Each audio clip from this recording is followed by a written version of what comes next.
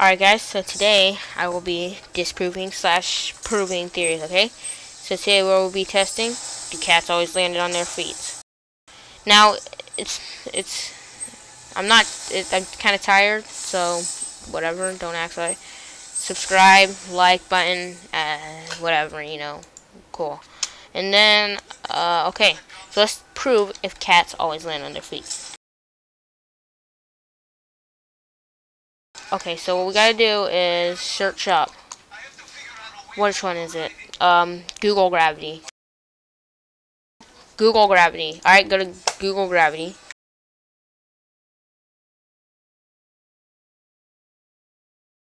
Alright, let's test if cats always land on their feet.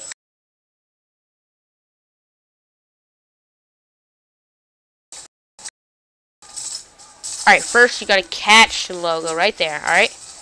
This one, as you can see, sorry, I have push talk set up. Alright, so as you can see, we have Google right there.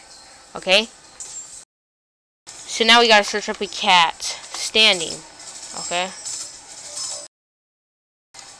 This one from uh, CanStock should do.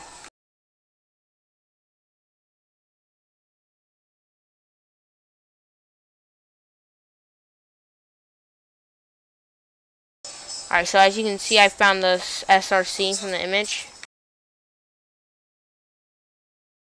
Alright, and then we gotta click here. And you, now that we have our SRC, you have to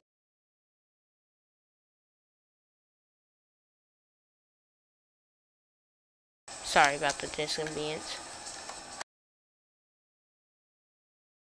Okay, as you can see now we can finally test the cats always land on their feet. Okay, so let's try. Okay, so cats land on their feet. Okay, that time the cat didn't land on its feet, as you can see right there. So, the cats don't actually always land on their feet. Well, I'm actually kind of disappointed now because I always thought cats did land on their feet, but from what you can see right here, cats don't land on their feet. Instead, they're trying to trick you into thinking that, but as you can clearly see right here, the cat landed on its back.